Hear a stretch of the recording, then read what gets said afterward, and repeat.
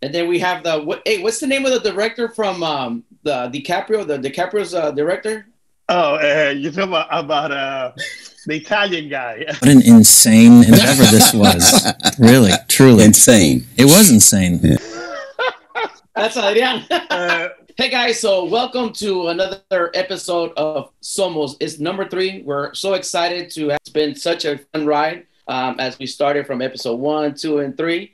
And uh, we have too much to talk about today. We have Johnny Pacheco, the passing of Johnny Pacheco, legend salsa Johnny Pacheco.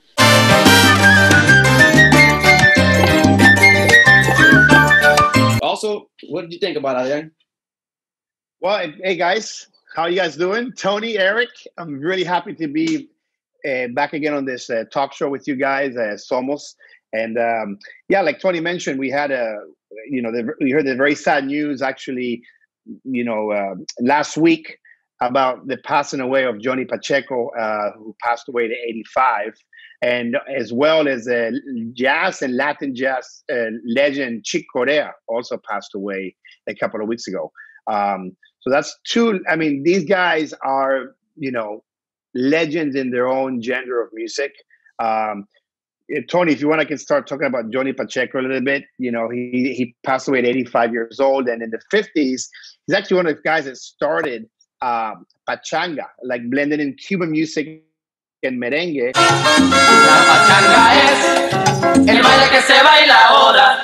And uh, in New York, um, and uh, he was born in, in la República Dominicana, Dominicano.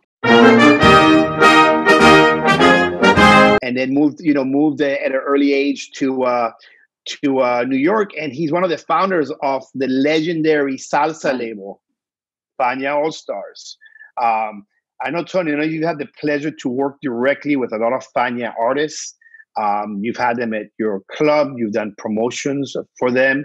Uh, do you want to talk a little bit about you know, Definitely. about So, Fania? you know, uh, Johnny Pacheco was a director, a composer, a band leader, uh, a label, uh, pretty much rep. Also, um, Fania Records. He started with a guy named Jerry Masucci. For people that don't know about salsa dura, that's where it started. Um, he moved to New York, like Adrian says, from Santo Domingo, one of the few Dominican salseros in the world. Um, Wow, Really Dominican. I didn't know that. I'm not listening to you. You're crazy. played, you know, he backed up Celia Cruz, um, Hector Lavoe. Actually, you know, like I said, Fania was part of the old, you know, salsa legends and stuff like that. Hector Lavoe, um, Pete Conde Rodriguez, uh, like I mentioned, Celia Wi- Willie Cruz, Willie Lavoe, Willie Colon. Willie Colon, uh, Ray Barretto. You know, there, there was so it was a, a really big, big, big list of artists. Um, Celia Cruz. Celia Cruz, yeah, he did. Uh, you know, sometimes you know we hear the song and you're like, wow, that guy was part of it. But you know, um, Toro Matai, Quimbara, all those songs that we dance. You know, even the new generations dance to their classic songs. So it was a sad news, like I said, that we heard last week that he, of his passing. Um, he was 85 years old. Uh, he's in a better place now. I'm pretty sure he's playing salsa up there now with Tito Puente, Up in heaven. Cruz, he, he has a big jam up there. Um, but anything else that you would like to add, Adrian, about him and stuff like that too? Um, I mean, the guy, you know, the guy produced and composed over 150 songs. I mean, this guy wasn't just, you know, he was, and top of that, he was a showman. You know, he was always on the stage, like exciting the crowd when one of his artists would go on there. You know, he's very known for that that energy that he had, kind of almost like a director of salsa when he would be well, on well, stage. you know, if, um, if you watch the movie El Cantante with Marc Anthony, Mhm. I, I don't know if you guys noticed that song, uh, Quítate tú, quítate tú, papo. He's he's the guy with the flute and they're going crazy. You know, that's that's who uh, Johnny Pacheco was, like the energy guy behind the whole band. I mean, definitely one of the one of the you know you, you can say one of the founders of salsa music and creators because salsa music. A lot of people don't know this. Salsa music was actually created in New York. It's not like it came from Puerto Rico from the islands.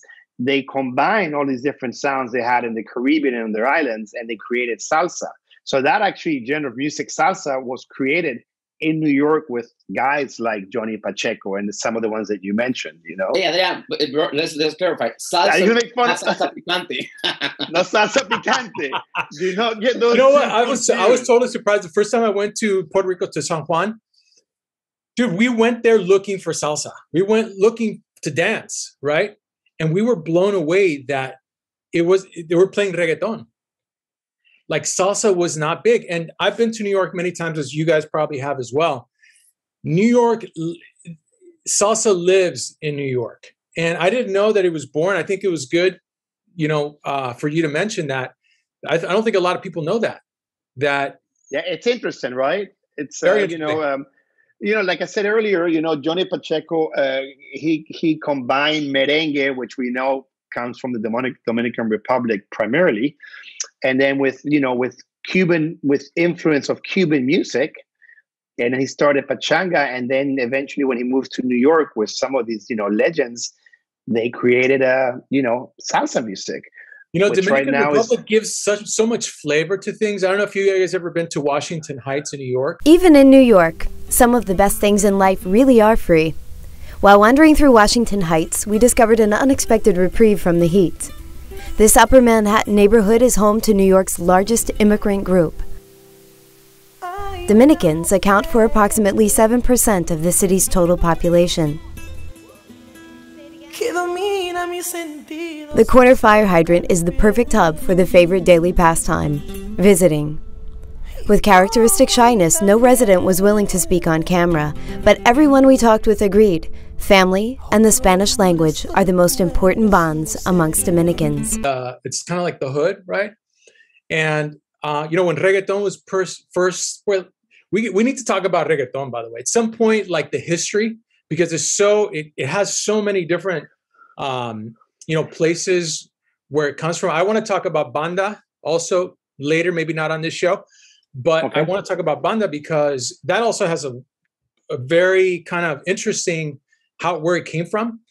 But I went to Washington Heights and I heard like a reggaeton that I've never heard before. It was uh, Dembow. Ruleta en una camioneta, recogimos la vaina que llegó la avioneta. Coronao, coronao, coronao, now, now, coronao, coronao, coronao, now, now. Dembow. Time? Dembow. Dembow. Mm-hmm. And also the salsa. And by the way, Washington Heights is a Dominican Republic kind of neighborhood. And they added a diff. The, the salsa there was was different too. Uh, it, was more. It, it seemed like it was faster it seemed like it was a, a different flavor, like a little, just a little spice that made it a little different.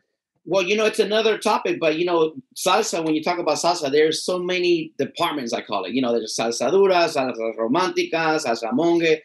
Dominicans in the, the late 2000, you know, they started adopting salsa, but with a little bit, like you're saying, a little bit more faster pace. Chiquito band, you know, guys from New York there were like New Yorkers doing salsa. So, like you said, that's another topic we're going to talk about. Even dembow, how reggaeton has different, you know, meanings. It came from here, it came from there. But you know what? You got to sign up to our Somos because that's the only way you can get informed of all the chisme, all the cultura, comida, lo que pasa aquí en Somos all over the world. Correct? And then yes, Tony. Tony and Eric, you guys were talking about reggaeton, so I think we should jump into um, a little bit about Ozuna because that's another one of the subjects we want to talk about today. And Ozuna is just, I mean, blowing up. He just had a new uh, uh, record. They came out with Anuel, and he's actually going to be part of a new movie. Uh, Tony, why don't you take it away from here? Well, you know, Ozuna, like I said, Ozuna's you know been around for the past four years. He's been like skyrocketing little, little, little by little. You know, the numbers have doubled. You know, um, to start off, you know, talking about the movies, he did uh, two movies already. It's called Que Leones. La Gran Manzana. Ustedes saben a lo que yo me refiero. He venido a Nueva York a buscar lo que tú nunca vas a poder lograr en tu país. Pero si yo soy tú, cuando él llegue le hago un escándalo, le miro el cuello y lo vuelo. ¿Pero por qué tú dices eso? Oh, por si acaso andaba con otra mujer. Uh, in the Dominican Republic. Um, and then from prior that, oh, oh, here comes, oh, oh, una bomba, he did an X-rated film. That what? Was, yeah, there was a big there was a big thing going on. Talking about porn? It was porn. Oh, it was a, it was a it was a thirty second porn piece, and you know, like I said, it was it was one of those things that, ugh, really. But you know, I've done I've done some I've done some films.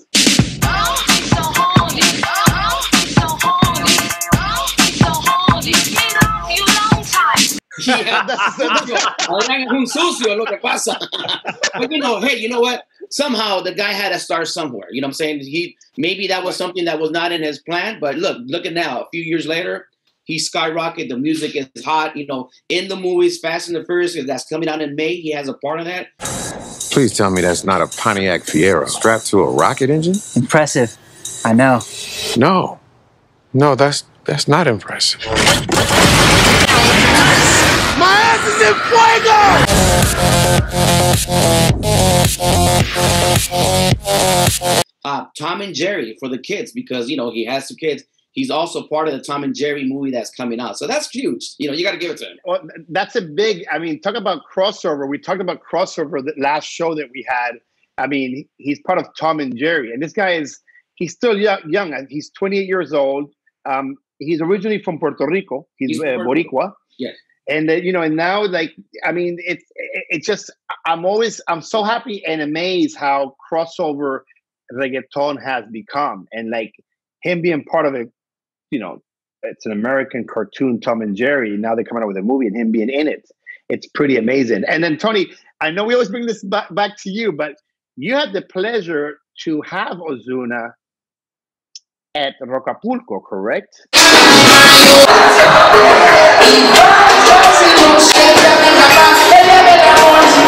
Actually, you Where's know what? that- I did. where- I where's if you that guys poster? see- If you guys see that, see that picture right poster. there? I don't know if you guys can see it there, but see that picture right there? That's Ozuna at Rocapulco. Probably one of the most packed shows we have had. It was one, and then you had yeah, and it was a sold out show. But you know, talking but- about you know those those are inspiration for the young kids too, because you know, let's face it, sixteen year olds are looking up to this reggaeton artist. They're saying, "Damn, you know, look at that! From one day to another, they're making so much million."